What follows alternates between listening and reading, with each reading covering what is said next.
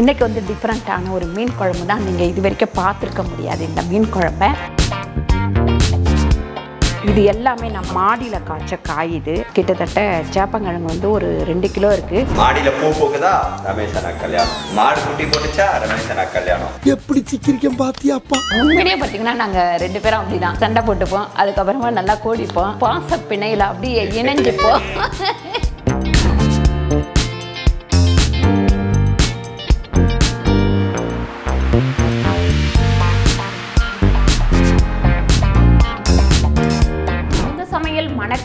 சிக்க அம்மா சமையல் மசாலா ஐட்டம்ஸ் ஊறுகாய் ஐட்டம்ஸ் நம்மக்கிட்ட கிடைக்குது.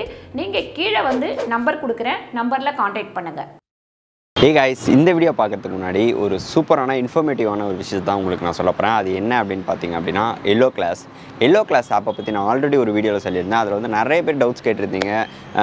ரமேஷ் ப்ரோ இது வந்து வந்து ஃப்ரீயா இல்லை வந்து என்ன பண்ணணும்? இதுக்கு நமக்கு ஏதாவது சார்ஜ் பண்ணுவாங்களா? ஒரு அப்படின்ற மாதிரி நிறைய டவுட்ஸ் கேட்டிருந்தீங்க. ஸோ இது வந்து பார்த்தீங்க அப்படின்னா ஃபுல் அண்ட் ஃபுல் உங்களுக்கு வந்து ஒரு ஃப்ரீ ஆப் இதை வந்து உங்கள் குழந்தைங்களுக்கு வந்து நீங்கள் இப்போ வந்து லாக்டவுன் ஆல்மோஸ்ட் போட போகிறாங்க ஸோ வந்து அவங்க டைமை வந்து டிவி பார்த்தோ கேம் விளையாடியோ வேஸ்ட் பண்ணாமல் ஸோ இந்த மாதிரி ஒரு கிளாஸஸில் நீங்கள் ஜாயின் பண்ணி விட்டீங்க அப்படின்னா ஸோ அவங்க வந்து நிறைய விஷயங்களை லேர்ன் பண்ணிப்பாங்க. இதில் வந்து நிறைய விஷயம் இருக்குது ஆர்ட் அண்ட் கிராஃப்ட்டு ட்ராயிங்ஸு அப்புறம் வந்து பார்த்திங்கன்னா டான்ஸு சிங்கிங்கு அப்படின்னு நிறைய விஷயங்கள் இருக்குது ப்ளஸ் இது எல்லாமே வந்து ஒரு ப்ரொஃபஷன்ஸ் தான் சொல்லித் தராங்க. ஸோ அதனால் உங்களுக்கு வந்து பார்த்திங்கன்னா அதில் வந்து ஒரு எந்த ஒரு இதுவும் இருக்காது. நல்லா சொல்லித் தருவாங்க. இப்போ வந்து பாப்பாவுமே அந்த கிளாஸஸ்லாம் அட்டன் பண்ணிகிட்டு இருக்கான் நிறைய பாப்பாவுக்கு வந்து டிராயிங்கில் ரொம்ப ரொம்ப இன்ட்ரெஸ்ட்டு ஸோ வந்து ஃப்ரீயாக வீட்லேயே உட்காந்து அவன் வந்து ஜாலியாக வந்து இதெல்லாம் வந்து லேர்ன் பண்ணிகிட்டு இருக்காங்க. அது வந்து எங்களுக்கு ரொம்ப ரொம்ப ஹெல்ப்ஃபுல்லாக இருக்குது ஏன்னா இப்போ பார்த்திங்கன்னா பாப்பா டான்ஸ் கிளாஸ்னால் நான் இங்கேருந்து கூப்பிட்டு போயிட்டு மறுபடியும் விட்டு ட்ராவலு அது இதுன்னு ரொம்ப கஷ்டமாக இருந்தது. பட் இப்போ வந்து டிராயிங் கிளாஸும் ஜாயின் பண்ணலாம் இருந்தோம். அது வந்து வீட்டிலேயே கிடைக்குதுன்னு போது ரொம்ப ஹாப்பியாக இருக்குது ஸோ இந்த ஆப்பை பற்றி நான் உங்களுக்கு எல்லாமே எக்ஸ்பிளைன் பண்ணிட்டேன். இவ்வளோ விஷயங்களை ப்ரொவைட் பண்ணுற ஆப்பை நம்ம ஏன் வந்து மிஸ் பண்ணணும்? ஸோ வந்து வெளியே போகாமல் வீட்டில் இருந்தே பசங்களுக்கு ஈஸியாக கிளாஸ் அட்டன் பண்ணுறதுக்கு சூப்பரான ஒரு சான்ஸ் நீங்களும் உங்களுக்கு தெரிஞ்ச ஃப்ரெண்ட்ஸ்க்கு எல்லோ ஆப்பை சஜஸ்ட் பண்ணி அவங்க பசங்களுக்கும் ஒரு சூப்பரான விஷயத்த கற்றுக் கொடுங்க. வணக்கம். நான் உங்கள் அம்மா சமையல் மீனாட்சி. இன்றைக்கி சூப்பரான ஒரு விளாக் தான் பார்க்க போகிறோம் எல்லாரும் வந்து நானும் ரமேஷும் நல்லா பேசிக்கிறோம். சண்டை போட்டுக்கிறீங்க இது பண்ணிக்கிறீங்க அதெல்லாம் வந்து ரொம்ப நல்லா இருக்குது அப்படின்னு சொல்லிட்டு சொல்கிறீங்க உண்மையிலேயே பார்த்திங்கன்னா நாங்கள் ரெண்டு பேரும் அப்படி தான் சண்டை போட்டுப்போம் அதுக்கப்புறமா நல்லா கோடிப்போம். அப்புறம் பாச பிணையில் அப்படியே இணைஞ்சிப்போம். அந்த மாதிரி தான் எல்லாருமே இதை பார்க்கும்போது ரொம்ப சந்தோஷமாக இருக்குது அப்படின்லாம் சொல்லியிருக்கீங்க. நிறைய பேர் நம்ம வந்து பிள்ளைங்கக்கிட்ட ஒரு ஒரு லிமிட்டாக இருக்கணும் அப்படின்னு சொல்லிட்டு நம்ம வந்து இது பண்ணிடுறோம். அப்படி கிடையாது. பிள்ளைங்கக்கிட்டலாம் வந்து நம்ம நல்லா வந்து ஃப்ரெண்ட்ஸ் மாதிரி இருக்கணும். அப்படி ஃப்ரெண்ட்ஸ் மாதிரி இருக்கும்போது தான் நல்லது கெட்டது எல்லாமே பேசணும். நம்ம இதுதான் பசங்கக்கிட்ட பேசணும் இதுதான் பசங்கக்கிட்ட பேசக்கூடாது அப்படியெல்லாம் கிடையாது. நம்ம சோஷியலாக பேசினோம்னா அவங்களும் வந்து ஒன்றுமே மறைக்காமல் நம்மக்கிட்ட எல்லாத்தையும் சொல்லிடுவாங்க. எங்கள் ரமேஷும் அப்படி தான் எதுவுமே மறைக்க மாட்டாப்புல எல்லாத்தையும் என்கிட்ட வந்து சொல்லிடுவாப்புல. நானும் அப்படி தான் எதுவுமே மறைக்க மாட்டேன். எல்லாம் வந்து பையனுக்கு தெரிஞ்சிருக்கணும் அப்படின்னு சொல்லிட்டு விரும்புவேன். இந்த மாதிரி ஒரு என்ன சொல்கிறது என்ன என்ன? அதுக்கு என்ன சொல்லுவாங்க? இந்த மாதிரி ஒரு ரிலேஷன் இந்த மாதிரி ஒரு அது சொல்லுடா வரலடா. ச்சே போடா. இந்த மாதிரி ஒரு ஐயோ வரமாட்டேங்குது. சரி. இப்படி இருந்தால் தான் நம்ம ரிலேஷன்ஷிப் வந்து நல்லா இருக்கும் அதாவது ஹஸ்பண்ட் அண்ட் ஒய்ஃப் ஆகட்டும் அம்மா பிள்ளையாகட்டும் அம்மா பொண்ணாகட்டும் எல்லாத்தையும் சொல்லிக்கிறாங்க சண்டை தான் வரும் அப்புறம். இல்லை சூரி எல்லாத்தையும் அப்படின்னா நான் என்ன சொல்கிறேன்னா ரெண்டு பேருமே ஒரே மாதிரி இருக்கணும். ஒருத்தர் மட்டும் எல்லாத்தையும் சொல்லி ஒருத்தர் சொல்லலைன்னா கஷ்டம். ஆனால் நான் எங்கள் வீட்டுக்கார்ட்ட எதையும் சொல்ல மாட்டேன். ஏன்னு கேட்டிங்கன்னா ஏன்னு கேட்டிங்கன்னா ஏதாவது பண்ண போகிறோம்னு சொல்லிட்டு நம்ம சொன்னாலே உடனே அதை வந்து நெகட்டிவாக பேசிடுவார் அந்த இடத்துல. அது வந்து நமக்கு அப்படியே டவுன் ஆகிடுவேன் நான். அவர் நெகட்டிவாக பேசினோம்னா நான் டவுன் ஆகிடுவேன் பாசிட்டிவாக பேச மாட்டார். அதனால் சொல்ல மாட்டேன். எல்லாம் நல்லபடியாக முடிஞ்சதுக்கப்புறம் சொல்லிடுவேன். மறைக்கிறது கிடையாது. நல்லபடியாக முடியணும். முடிஞ்சதுக்கப்புறம் சொல்லணும் அப்படின்ற ஒரு எய்ம் வச்சுருப்போம். நானும் ரமேஷுமே அப்படிதான். அதனால சரி. ஆ, நான் வந்து கடாயை வேற பற்ற வச்சுட்டேன்டா. வாடா. நான் பாட்டுன்னு பேசின்னு இருக்கேன். இன்னைக்கு வந்து நான்வெஜ் நாங்கள் நேத்தே வந்து வானகரமில் போயிட்டு மீன் வாங்கிட்டோம் ஏன்னா இன்னைக்கு வந்து லாக்டவுன் அதனால வந்து நாங்கள் இன்னைக்கே பண்ணுறோம் அப்புறம் ஒரு பெரிய விஷயம் என்னன்னு கேட்டிங்கன்னா என்ன ஆனாலும் இந்த மக்கள் என்னன்னா ரமேஷ் அண்ணா கல்யாணம். மாடியில் பூ பூக்குதா? ரமேஷ் அண்ணா கல்யாணம். மாடு குட்டி போட்டுச்சா? ரமேஷ் அண்ணா கல்யாணம். அப்படின்ட்டு கமெண்ட் போட்டுட்டு இருக்கீங்க. இதெல்லாம் பண்ணாதீங்க. ரொம்ப பாவம். ஏதோ பூ பூத்துச்சுன்னு சொல்லிட்டு மஞ்சள் பூ. ஆ. ஆ ஆ, அது நிஜமா தான்டா. மஞ்சள் பூ பூத்தா கல்யாணமா? அப்போ போன வருஷம் கூட தான் நம்ம. ஆமா வீடு கட்டணும்ல. ஏதாவது ஒரு நல்லது நடந்ததுல்ல. அப்படி இருக்கும்போது அஹ், இன்னைக்கு வந்து டிஃப்ரெண்ட்டான ஒரு மீன் குழம்பு தான் நீங்கள் இது வரைக்கும் பார்த்துருக்க முடியாது இந்த மீன் குழம்ப. அதனால் அந்த மாதிரி ஒரு மீன் குழம்பு தான் வைக்கிறேன். ஃபஸ்ட்டு வந்து நம்ம கடாயில் வந்து ஒரு ஸ்பூன் அளவுக்கு நிறைய காஞ்சிடுச்சு ஆஃப் பண்ணிடுவோம். கடலெண்ணெய் வேறு இது. ஒரு ரெண்டு ஸ்பூன் அளவுக்கு மிளகுத்தூள் சேர்த்துக்கலாம். ஒரு ஸ்பூன் ஜீரகம். ஆ மிளகு. ஒரு ஸ்பூன் ஜீரகம் ஐம்பது கிராம் தனியா. அதுக்கப்புறம் வெந்தயம் ஒரு கால் டீஸ்பூன். இது எல்லாத்தையும் போட்டுட்டு இது இன்னைக்கு என்னன்னா பாருங்க பச்சை மிளகா பழுத்த மிளகா. பழுத்த மிளகாவை போட்டு தான் இன்றைக்கி மீன் குழம்பே வைக்க போகிறோம் இதில் கிட்டத்தட்ட ஒரு நாற்பது வச்சுருக்கேன். நீங்கள் ரெண்டு பேருக்கு வைக்கிறீங்கன்னா ஒரு பதினஞ்சு மிளகா வச்சா போதும். இப்போ நம்ம அடுப்பை ஆஃப் பண்ண ஆன் பண்ணிக்கலாம். நான் ஆஃப் பண்ணிட்டேன். இல்லை ரஜா கரெக்டாக இருக்கும் மீன் குழம்புக்கு. இல்லைன்னா நல்லா இருக்காது மீன் குழம்பே. அதுக்கப்புறம் பார்த்திங்கன்னா பூண்டு வந்து நல்ல ஒரு ஒரு இருபது பல்லு பூண்டு. இது எல்லாத்தையும் போட்டு நல்லா வதக்கிடுவோம். இதில் வந்து எறா பண்ண போகிறேன் கடுகு வந்து ஒரு அரை ஸ்பூன் சேர்த்துக்கிட்டேன். கடுகு சேர்த்ததுக்கப்புறம் நம்ம வந்து இந்த வெங்காயம் சேர்த்துக்கலாம். பொடியாக நறுக்கின வெங்காயம்.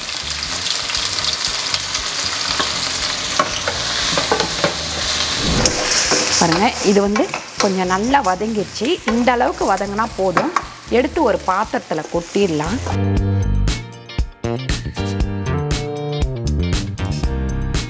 மசாலா வறுத்த அதே கடாயில் இப்போ வந்து மீன் குழம்புக்கு கடுகு சேர்த்துக்கலாம். கொஞ்சமாக உளுந்து சேர்த்துக்கலாம்.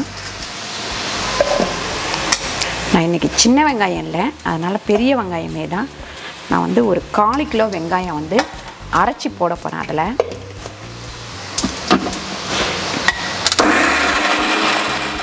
அரைச்ச இந்த வெங்காயத்தை வந்து இதில் சேர்த்துக்கலாம்.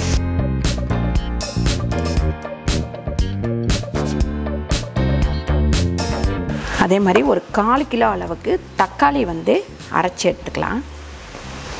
எறாக்கு பார்த்திங்கன்னா இஞ்சி பூண்டு பேஸ்ட் வந்து ஒரு ஒன்றரை ஸ்பூன் போட்டுக்கிறேன். ஒரு கிலோ எறா வாங்கினோம் நம்ம உரித்து எடுத்தால் எப்படியும் ஒரு ஆறுநூறு இல்லை ஏழ்நூறு தான் இருக்கும் அது. கருவேப்பிலை சேர்த்துக்கலாம். பாருங்கள் வெங்காயம் நல்லா வதங்கினோடனே இந்த தக்காளியை ஊற்றிக்கலாம் அரைச்சி வச்சிருக்கிற தக்காளி இதுவும் நல்லா வதங்கட்டும். வறுத்து வச்சுருக்கிற இந்த மசாலாவை சேர்த்து நல்லா அரைச்சிக்கலாம்.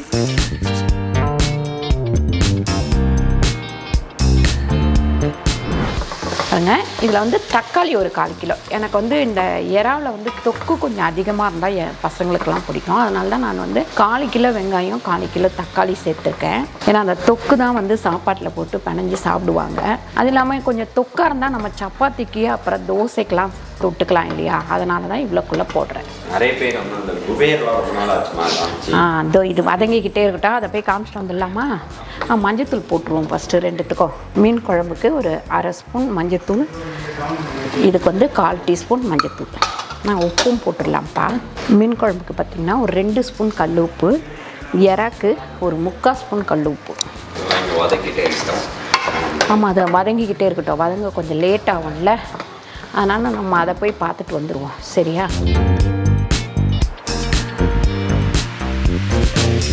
இது எல்லாமே நம்ம தோட்டத்தில் வந்து மேலே மாடியில் காய்ச்ச காய் இது கிட்டத்தட்ட சேப்பங்கிழங்கு வந்து ஒரு ரெண்டு கிலோ இருக்குது வள்ளிக்கிழங்கு வந்து நமக்கு ஒரு அரை கிலோ தான். அதான் ஒரு தொட்டியில் போட்டது நல்லா காய்ச்சிருந்தது. ஒரு தொட்டியில் போட்டது சுமாராக தான் காய்ச்சிருந்தது.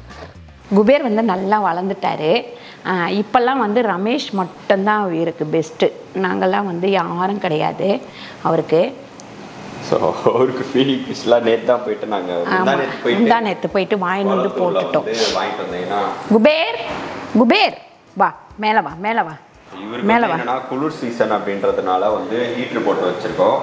நிறைய பேர் அரோனெல்லாம் வச்சுட்டு இருந்தீங்கன்னா உங்களுக்கு தெரியும் ஹீட்ரு போடணுன்ட்டு ரொம்ப ரொம்ப ரொம்ப ரொம்ப ரொம்ப கஷ்டப்பட்டு வளர்த்துருக்குறோம் இவரை. இந்த குபேரை வந்து ரமேஷ் தான் ஃபுல் அண்ட் ஃபுல் வந்து அவர் தான் பார்த்து பார்ப்பல பார்த்து பார்த்து பண்ணுவாப்புல. ஏதோ ஈட்ரு போடணும் மோட்ரு போடணும் லைட்டு போடணும் அப்படி இப்படின்னு சொல்லிட்டு என்னென்னவோ பண்ணுவாப்புல. நிறைய பேர் கேட்டே இருந்தாங்க அம்மா ஃபிஷ் டேங்க்லாம் காமிங்க. எப்படி இருக்கு?" இப்ப நம்ம வெளியே இருக்க அது என்ன ஆச்சுன்னு. இப்போ வந்து பார்த்தீங்கன்னா இது வந்து நேற்று தான் அதான் முந்தா நேற்று போனோம் இல்லைங்களா? புது ஃபிஷ் ஏன்னா இதில் இருந்த ஃபிஷ் எல்லாமே வந்து இதுவாயிடுச்சு.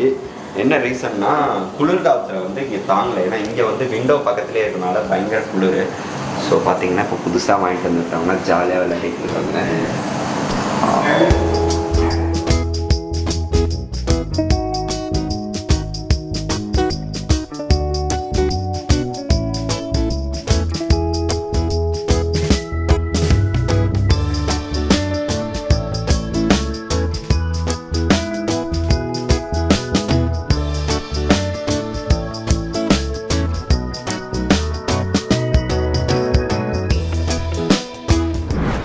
மசாலா.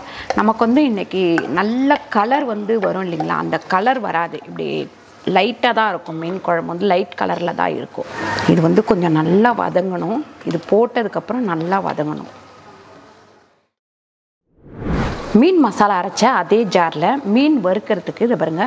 பட்டை லவங்கம் ஏலக்காய் அதுக்கப்புறம் பார்த்திங்கன்னா ஜாதி பத்திரி இது எல்லாமே சேர்த்து கொஞ்சம் கொஞ்சம் போட்டுக்கிறேன்.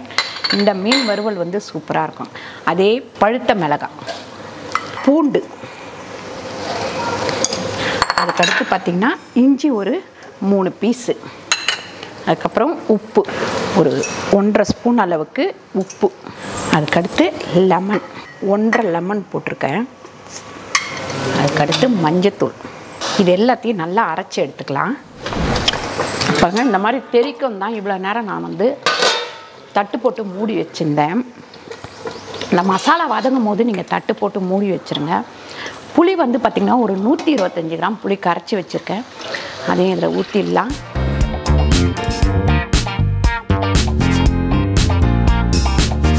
தண்ணி வந்து உங்களுக்கு எவ்வளோ தேவையோ ஊற்றிக்கோங்க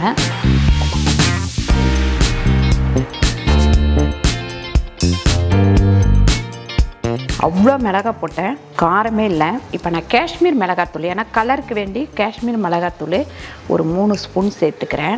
மிளகு போட்டேன் அதுக்கப்புறம் அந்த பழுத்த மிளகாய் போட்டேன். ஆனால் வந்து காரமே இல்லை. சப்போஸ் நீங்கள் வந்து காரம் கம்மியாக சாப்பிட்றவங்களா இருந்தால் உங்களுக்கு அந்த காரம் வந்து செட் ஆகும். அந்த கம்மியான அந்த மிளகாத்தூளே உங்களுக்கு வந்து போதும். எக்ஸ்ட்ரா நீங்கள் மிளகாத்தூள்லாம் போட வேணாம். ஆனால் நீங்கள் என்ன சொல்றீங்கன்னா இவ்வளோ காரம் போடுறீங்க இவ்வளோ ஆ நமக்கு வந்து சில நாம் வந்து அரைக்கிறது வந்து கொஞ்சம் தனியாக கூடவும் மிளகா கம்மியாக தான் அரைக்கிறோம். அதனால காரம் வந்து கம்மியாக தான் இருக்கும். நம்ம மிளகாத்தூள் வந்து காரம் கம்மியாக தான் இருக்கும். அதனால தான் நான் வந்து ஸ்பூன் கொஞ்சம் அதிகமாக போடுறேன். சில வீட்டிலலாம் சரிசமமாக போடுவாங்க. அப்படி சரிசமமாக போடும்போது காரம் அதிகமாக இருக்கும். பாருங்க, நான் மட்டன் மசாலா இறாக்கு வந்து மட்டன் மசாலா ஒரு ஒன்றரை ஸ்பூன் சேர்க்குறேன். வெறும் மிளகாத்தூள் ஒரு ஒரு ஸ்பூன். எறா வந்து இதில் சேர்த்துக்கலாம்.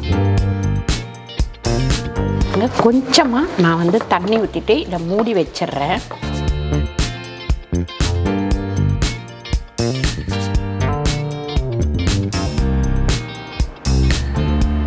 இப்போ மீன் போட்டுக்கலாம். அது ஏதோ ஒரு மீன் சொன்னாங்க சுரி. மறந்துட்டேன். இருக்காங்க. ஆனால் வந்து இது இந்த சீசனில் தான் வருமா? இந்த மீன். எங்களுக்கு தெரியல. உங்களுக்கு தெரிஞ்சா நீங்கள் கீழே கமெண்ட் பண்ணுங்க. ஆனால் சீலா கிடையாது. கட்லா இருக்குல்ல? கட்லா மாதிரியே இது இருக்கும். கட்லாவோட சொந்தக்கார பொண்ணான்னு நினைக்கிறேன். ஆமா. சீலாவோட சித்தி பொண்ணுன்னு நினைக்கிறேன். ஸோ ஏதோ. அது என்னடா சித்தி பொண்ணு மாமா பொண்ணு? அதெல்லாம் ஒரே ஃபேமிலியாக தான் இருப்பாங்க. அதனால் இந்த மீன் என்ன மீன் தெரிஞ்சால் நீங்களே கீழே கமெண்ட் பண்ணுறீங்க கமெண்ட்லாம் நீங்கள் பண்ணுங்கள் மீன் குழம்பு சாப்பிடலாம் நாங்கள் சாப்பிட்றோம். அதுலேயே வந்து களி களி ஊத்துறாங்க என்ன? அப்படியா? திட்டுறாங்களா உன்னை? நீ பேசியே. என்ன பண்ணுறாங்களா அதை ரொம்ப இது வெறுப்பேற்றுறீங்க எங்களை ஏன்? இந்த மாதிரி மீன் குழம்பு இதெல்லாம் ஓ சாப்பிட்றதெல்லாம் நீ வந்து இப்படி பண்ணா எல்லாரும் திட்ட தான் செய்வாங்க. சரி யாராக இருந்தாலும் திட்டாமலாம் இருக்க மாட்டாங்க. இப்படியெல்லாம் பண்ணாத. ஏன் வெறுப்பேத்துற? அதுக்குன்னு நீ சாப்பிட்டுட்டு அவங்களுக்கு அந்த ஃபீல் மட்டும் கொடுக்குறியா? ஓ சரி சரி. அப்போ அப்போ வந்து அவங்க திட்டுறது கரெக்டு தான்.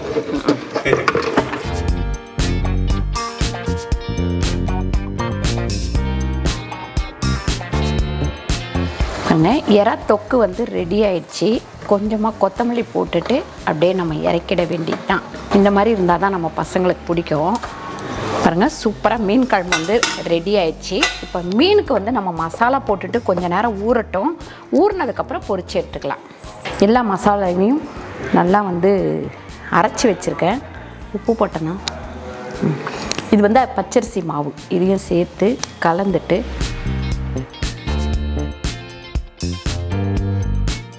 இது வந்து காணாங்கத்தை மீன். கேரளாவில் இதை வேறு ஏதோ சொல்லுவாங்க. காணாங்கத்தையா கேரளா சப்ஸ்கிரைபர் யாராவது அப்படின்னா இது என்ன மீன் சொல்லுவாங்கன்னு தெரியல. கேரளாவில் இங்கே நீ காஞ்சிபுரம் தாண்டினாலே அங்கே ஒரு பேர் சொல்லுவாங்க எல்லாரும். ஒரு ஒரு ஊருக்கு ஒரு ஒரு பேர் வச்சுருக்காங்க மீனுக்கு மட்டும். ஸோ அது வந்து கடல். மீனுக்கு மட்டும் இல்லை கிழங்கு வகை கூட. கருணக்கிழங்குக்கு சேனக்கிழங்குமாங்க ஸோ அதனால் யார் சொல்கிறாங்களோ அதை அப்படியே ஒரு பேராக வந்து ஊர்க்காரங்க வச்சுக்கிறாங்க போல. அதனால் ஒரு ஒரு ஊரில் ஒரு ஒரு பேர் இருக்குது இது பேர் சென்னையில் வந்து காணாங்கத்தன் நாங்கள் சொல்லுவோம். உங்கள் ஊரில் என்ன சொல்லுவீங்க? நீங்களே கீழே கமெண்ட் பண்ணுங்கள் அதை வந்து யார் வந்து கரெக்டாக சொல்கிறீங்களோ அம்மா வந்து ஒரு பெஸ்ட்டு ப்ரைஸ் தருவாங்க. எல்லாத்துக்கும் நீ வந்து என்னை மாட்டி விட்டுன்னு இருக்கிற இப்போ வர வர. அவங்களுக்கு வந்து காணாங்கத்தை மீன் வறுவல் அம்மா வந்து செஞ்சு தருவாங்க அவங்க கையால். அவங்க வரணும் இல்லைங்க. பார்சல் அனுப்பி வச்சிருவோம். பார்சல்லாம் நல்லா இருக்காது. நல்லா இருக்கு. அனுப்பி விட்டுடும் பாருங்கள் இப்போ வந்து தோசை கல்லில் போடுறேன் நான் ஏன்னாக்கா அது கொஞ்சம் மொறு மொறுன்னு வரும் நல்லா. அதுக்காக தோசை கல்லில் போடுறேன்.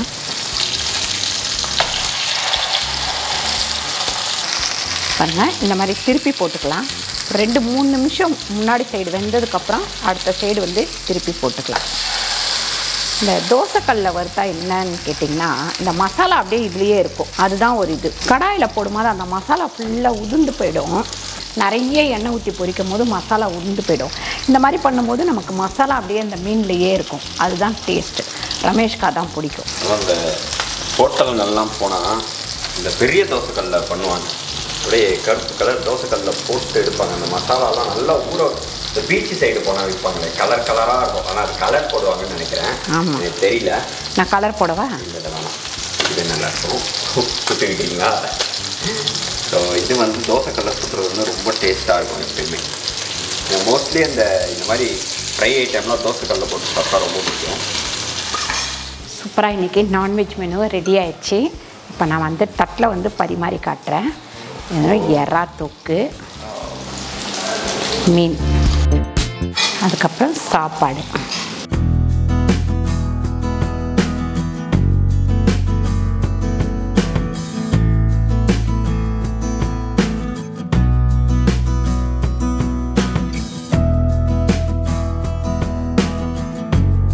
சூப்பரான இன்னைக்கு நான்வெஜ் லஞ்ச் மெனு வந்து ரெடி ஆயிடுச்சு. இன்னைக்கு டிஃப்ரெண்ட்டாக மீனும் வறுத்துருக்கேன் டிஃப்ரெண்ட்டாக மீன் குழம்பு வச்சுருக்கேன். ட்ரை பண்ணி பாருங்கள் ட்ரை பண்ணி பார்த்துட்டு கீழே கமெண்ட் பண்ணுங்கள் எப்படி வந்தது.